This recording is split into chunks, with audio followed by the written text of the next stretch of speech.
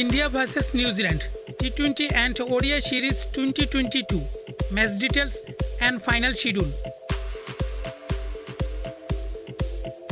First T20 match date 18 November 2022.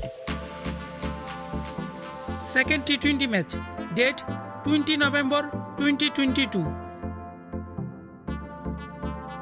Third and last T20 match date 22 November 2022. First ODI match, date 25 November 2022. Second ODI match, date 27 November 2022. Third and last ODI match, date 30 November 2022.